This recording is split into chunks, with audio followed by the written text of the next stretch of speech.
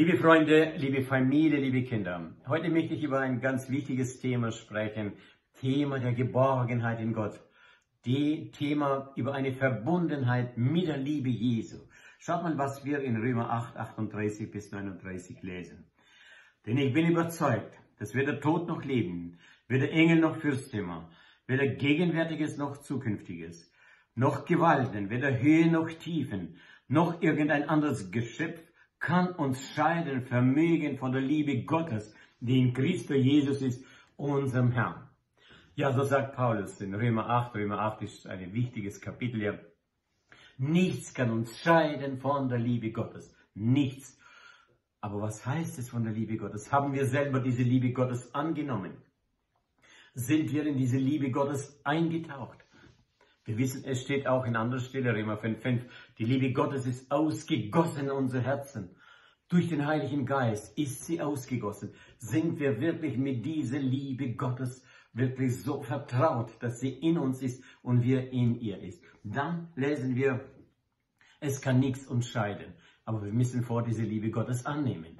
Was gehört dazu? Da gehört dazu zu glauben, dass Jesus Christus für dich und für mich gestorben ist dass er am Kreuz die Sünden auf sich genommen hat. Ja, meine und deine Sünden. Deswegen ist er gestorben. Deswegen hat er das Ganze ertragen über das Leben, was er ertragen musste, bis zu diesem also schweren Tod am Kreuz.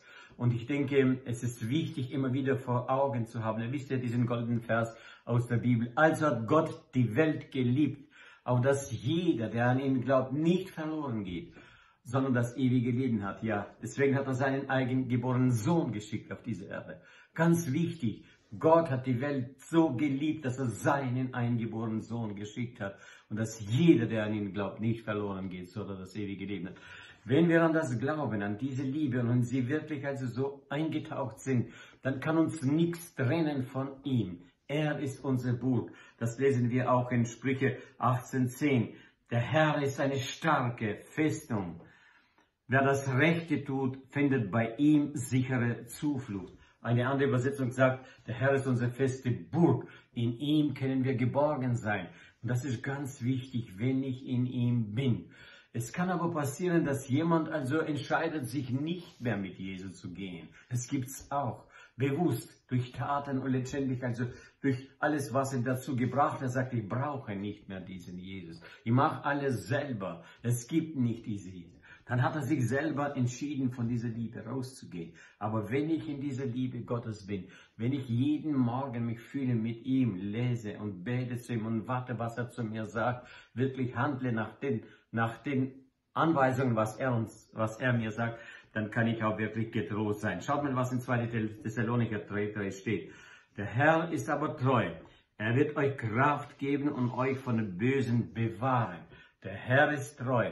Er wird Kraft geben und bewahren in jeder Situation, die es vor uns gibt. Ich denke gerade an Jan Hus. Wir waren voriges Jahr ja im Sommer gerade an dem Denkmal von ihm in Prag.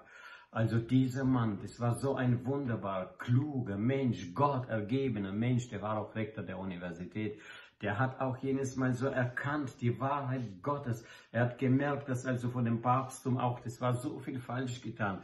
Er war auch ein bisschen vielleicht naiv, er ist gegangen bis zum Papst und hat also gesagt, also so und so darf man nicht machen. Also irgendwie, aber er wurde nicht erhört, man hat ihm kein Gehör gegeben. Letztendlich musste er sterben am am Feuer, man hat seinen Scheiterhaufen, wo er verbrannt, aber ihn hat es nicht getrennt von der Liebe Jesu.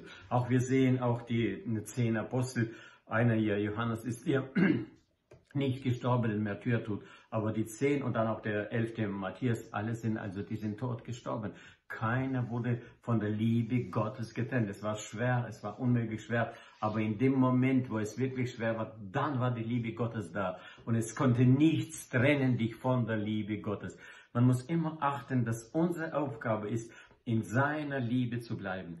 Immer wieder also so äh, ihm danken für das, was er getan hat. Und wenn man manchmal auch es nicht so spürt, nicht so, also irgendwie so vor Augen hat, trotzdem sagen, hey, ich danke dir für alles, was du getan hast, dass du für mich gestorben bist, dass du am Kreuz hast die ganze Welt gerettet, dass du hast einen wunderbaren Himmel geschaffen, dass du hast eine wunderbare Erde, diese Erde hast du geschaffen, in jedem Blümchen warst du dabei.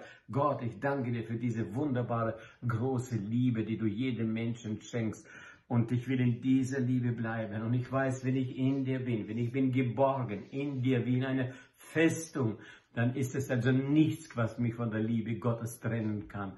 Und möge Herr Jesus, gib jedem, der hört diese Worte, dass er wirklich von sicher alles tut, dass er in deine Liebe neigt, dass er vor dir seine Sünden bekennt, dass er vor dir auch bittet um Vergebung, dass er dich einlädt in sein Herz und sagt, wohne in mir, Jesus. Christus in uns die Hoffnung der Herrlichkeit. Und ich bete für jeden, Jesus, hilf jedem wirklich in diese Liebe einzutauchen. Jeder, der sich bei dir sucht, diese Hilfe und deine Gnade sei auch über ihm. Der Name des Herrn sei gepriesen. Amen.